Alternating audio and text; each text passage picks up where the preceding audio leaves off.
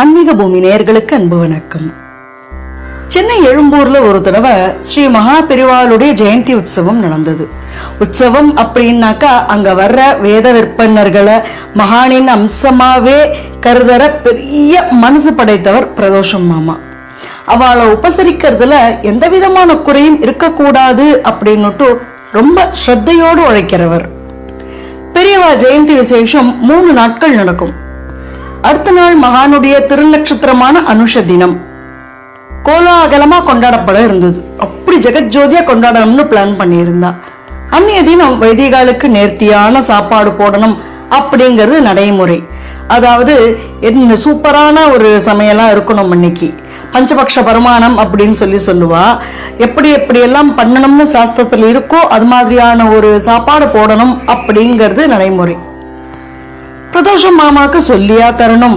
சாதாரணமாவே அவர் ரொம்ப ஆசையா செய்யறவர் இத்தனையிலையும் சாஸ்திரத்துல எப்படி சொல்லியிருக்கு அப்படின்னாக்கா பெரிய வந்து பிரதோஷம் மாமா சும்மா விட்டுடுவாளா என்ன?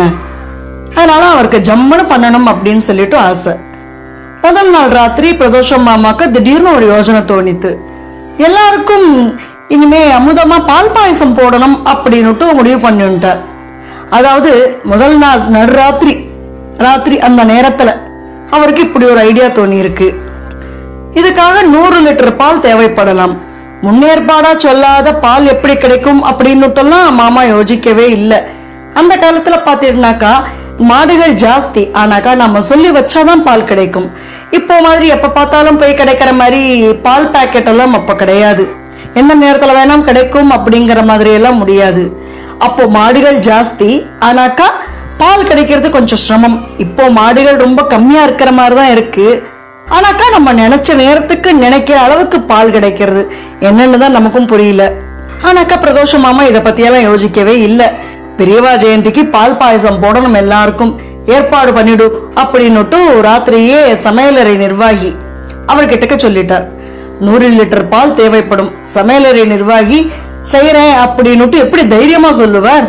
நூறு லிட்டர்னா சாதாரணமா அப்பெல்லாம் சொல்லி வச்சு ரொம்ப கஷ்டப்பட்டு தான் அதெல்லாம் வாங்கணும். கல்யாணத்துக்கெல்லாம் அந்த காலத்துல பண்ணணும் அப்படின்னாக்கா ஒரு பத்து நாள் ஒரு மாசம் முன்னாடியே சொல்லி வச்சுதான் அந்த நூறு லிட்டர் பால் அது மாதிரிலாம் வாங்குவா. அந்த சமையலறை நிர்வாகிக்கு கொஞ்சம் டென்ஷன் தான் ஆயிடுத்து. ஆயிரத்தி தொள்ளாயிரத்தி எண்பதாம் வருஷம் இந்த சம்பவம் நடந்தது. பால் எவ்வளவு தேவைன்னாலும் முன்பணம் கட்டணும். எப்படி பால் பாயசத்தை தயாரிக்கிறது? முடியாது அப்படின்னுட்டு பிரதோஷ மாமா கிட்டக்க சொல்ல முடியுமா? தயங்கி தயங்கி தயங்கி தயங்கி நின்னார். என்னப்பா பதிலையே காணோம் அப்படின்னுட்டு பிரதோஷம் மாமா கேட்கிறார் என்ன பதில் சொல்றது அப்படின்னுட்டு இவர் இக்கட்டான சூழ்நிலையில இருக்க அப்போ திடீர்னுட்டு போன் வந்தது. பிரதோஷன் மாமாவுடைய உத்தரவின்படி காரியஸ்தர் போனை எடுத்தார். போன்ல கேட்ட செய்தி அந்த அன்பருடைய முகத்துல மலர்ச்சிய வரவழைச்சது. மாபெரிவாளுடைய எல்லையற்ற அருளும் பிரதோஷம் மாமாவின் ஆழ்ந்த பக்தியும் அங்க வந்து வெளிப்பட்டது. அங்க வெளிப்பட்ட போன்ல வந்த செய்தி தான் என்ன அப்படிங்கிறளா ஜோஷி அப்படிங்கிற வழக்கத்திய அன்பர் மகான் கிட்டக்க அளவற்ற அன்பு கொண்டவர். பசுக்களை வச்சு பண்ணை நடத்துறார். பெரியவாளுடைய ஜெயந்திக்கு பால் அனுப்பிலாம் அதை பிரசாதமா ஏத்துக்க முடியுமா அப்படின்னுட்டு தான் திரு ஜோஷி அவர்கள் போன்ல இவாள்கிட்ட கேக்குறான். எப்படிப்பட்ட நேரத்துல எப்படிப்பட்ட செய்தி வர்றது பாருங்கோ.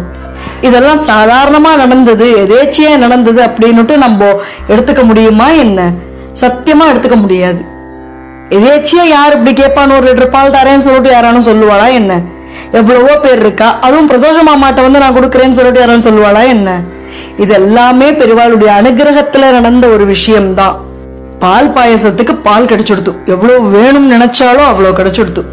பிரதோஷம் மாமா மகானுடைய அருள்ல எவ்வளவு அழுத்தமான நம்பிக்கை வச்சிருந்தாக்கா இந்த மாதிரியான காரியங்களை எல்லாம் அவரால் சாதிக்க முடியும் சொல்லுங்க. இது வந்து பிரதோஷ மாமாவனுடைய பக்தியை எடுத்து காட்டுறது இங்க. இவ்வளவு தூரம் திருடமான பக்தி இருந்தாக்கா நம்ம எதை வேணாம் அடையலாம் அப்படிங்கிறதுக்கு ஒரு சின்ன உதாரணம். பாலுங்கிறது அந்த காலத்துல எல்லாம் சட்டுன்னு நினைச்ச நேரத்துல கிடைக்காது. அதெல்லாம் ரொம்ப கஷ்டமான ஒரு விஷயம். இன்னைக்கு நம்ம சொல்றச்சு அது ரொம்ப இது போயா அப்படிங்கிற மாதிரி தோணலாம். ஆனாக்கா அன்னைய காலகட்டத்துல நினைச்சு பாருங்க. ஆயிரத்தி தொள்ளாயிரத்தி எண்பதுகள்ல எல்லாம் நினைச்ச நேரத்துல பால் கிடைக்குமா கிடைக்குமா அப்படிங்கிற நினைச்சு பார்த்தேன்னாக்கா உங்களுக்கே தெரியும். அப்போ நூறு லிட்டர் பால் கிடைச்சது அப்படிங்கிறது எவ்வளவு பெரிய விஷயம் அப்படிங்கறது நமக்கு புரியும். இவ்வளவு திருடமான பக்தி இருந்தாக்கா நடக்காது அப்படின்னு நினைக்கிற விஷயங்கள் கூட கண்டிப்பா நடக்கும்.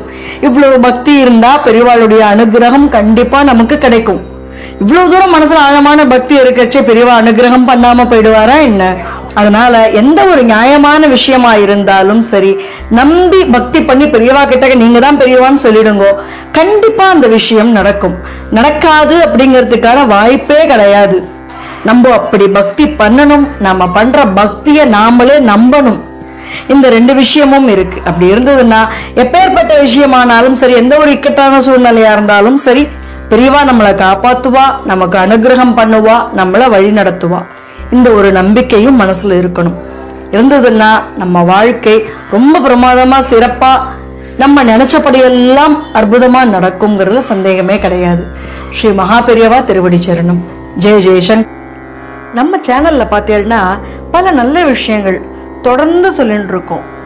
தினம் பல பல நல்ல விஷயங்கள் கருத்துக்கள் தொடர்ந்து வந்துட்டே இருக்க போகிறது இதை நீங்கள் பார்த்து கேட்டு ஃபாலோ பண்ணிடணும்னு வச்சுக்கோங்களேன் உங்களுக்கு உங்கள் வாழ்க்கையில் பல நல்ல விஷயங்கள் நடக்குங்கிறதுல ஒரு சந்தேகமுமே கிடையாது.